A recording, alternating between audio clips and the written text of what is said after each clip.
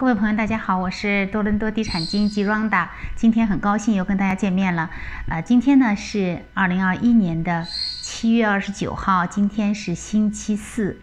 呃，今天我想跟大家呃来分析一下，大概就是在旺市的现在有两个正在热卖的这个项目，想带大家分析一下这两个项目到底哪一个更适合投资啊？价位呢？都是大概才一千到一千一左右啊，嗯，如果大家在节目后面呢，我会大家再 update 一下最新的一些楼盘的信息，还有哪些盘要开盘啊，什么时候开，或者说这些哪些是可以期待的一些项目吧。如果大家喜欢我的视频呢，可以点击关注。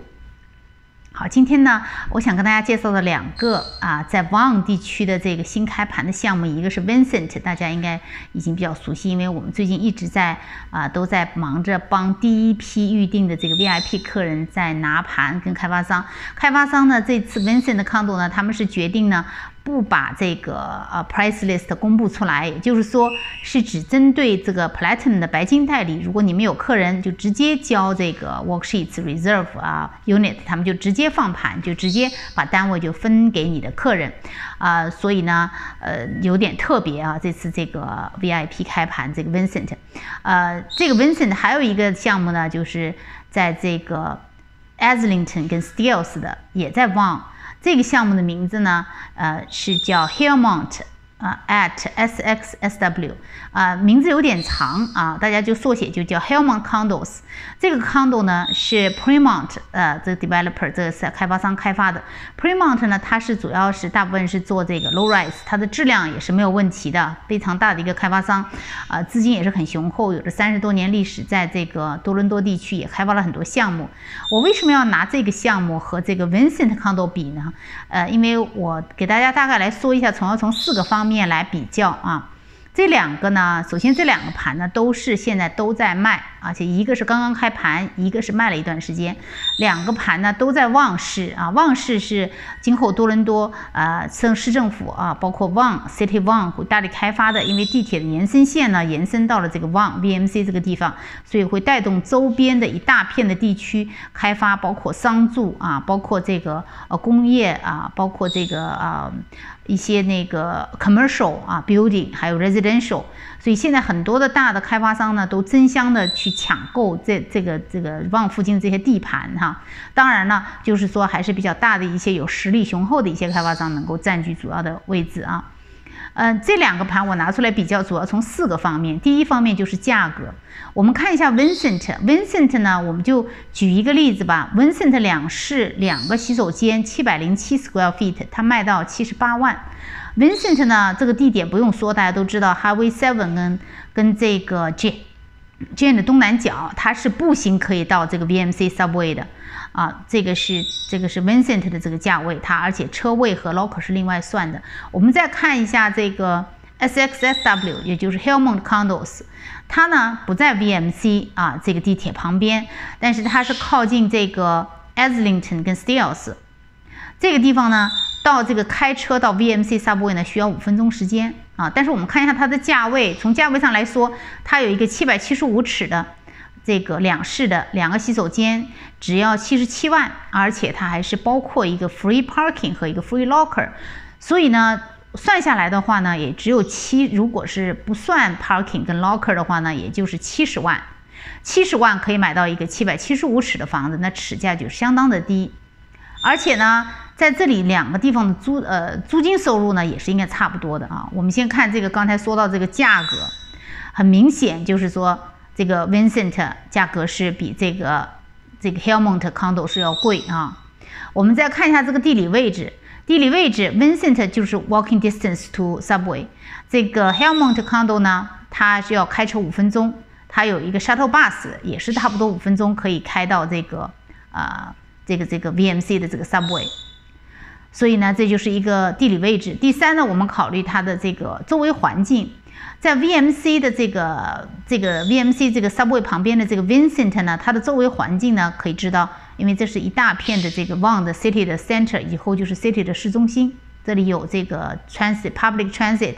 还有很多的一些，比如 Walmart 啊还有一些大型的一些商场 shops 都会在这里开发，包括 community center 都会在啊这个 VMC 啊南部的啊在东南角啊，就是 Highway Seven 跟 Jane 的东南角一大片会开发出来。所以这个地理位置基本上来说呢，基本上这种设施比较齐全啊，是作为一个优势。但是我们回过头来看这个 Helmont Condos。它呢虽然不在 VMC 边上，但是它周围的环境非常好。它是呃，应该是说有很多的绿地和这个树树林，就是说，而且 view 也非常的好，比较适合于那种比较欣赏环境、闹中取静的啊。也离 VMC 呢也不算太远，开车五分钟。但是呢，住在这里呢，环境就非常的好，非常的安静。啊，这就是地理环境啊，周围环境。我们再看一下第四点，就是分析一下这个租客人群。租客人群呢，如果是你买了 Vincent 作为投资呢，租客基本上就是各类都有，包括甚至于在 Downtown 或者 Midtown 沿着地铁沿线啊，觉得比较方便的这个工作人呃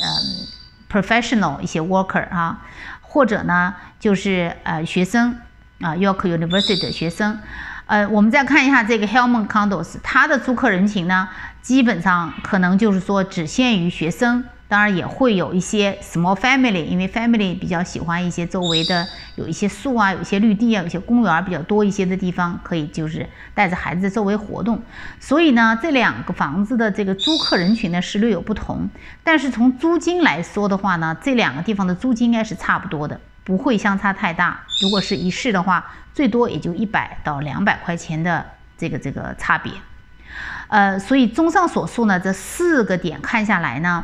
当然如果大家就是说一定要买这个 Subway 附近的，那就是 Vincent 没有话讲啊，包括这个我们之前开的 Festival 都是在这个 Subway 边上。如果考虑这个呃这个投资的这个回报，包括这个价位呢，因为我们投资基本上来说还是要捡一些比较便宜的啊。所以我还是比较建议这个 Helmon Condos，而且呢，这个房子现在是呃 one price fits all，也就是说没有呃 level premium。如果你买二楼的和买二十二楼的，同样两室都是七十七万，没有价钱区别。所以的话，这是一个现在还是一个很好的机会，我们还是有不少的户型可以选择。啊，现在基本上这个两个项目我就介绍完了，下面给大家 update 一下最近的一些呃信息。呃，一百号 Queen 呢，年前我们就预计要开了，在 Downtown 的呃一百号 Queen East 这个 condo 呢，现在改名叫 Queen Central Condos 啊。这个 Queen Central Condos 呢，基本上来说会在大概八月中旬的时候会开盘啊，请大家呢就呃敬请期待吧。还有一个呢，就是三百号 Blow West 啊，这个盘呢会晚一些，可能要到九月份才能开盘。嗯，它是 Collect Dev 的啊，这 Collect Dev 大家也应该知道，这个是很很有名的一个啊 World Winning 的一个开发商，在我上一期节目里也介绍过。嗯，再加上还有就是我们今天刚刚跟开发商开会的一个 EX 呃 Condos，在这个 Mississauga Square One 附近，这也是一个大型的开发社区项目，在 Square One 附近今后会有二十到三十栋 High Rise 的 Building 会盖出来，所以这一边的人口。包括这个周边设施啊，在 Mississauga 附近都会跟上。嗯，这个就是现在基本上就是我们当然还有 Danny 啊，Danny Danforth 啊，Vincent，我们现在还在卖啊，就是第一批分盘还在帮客人卖。嗯，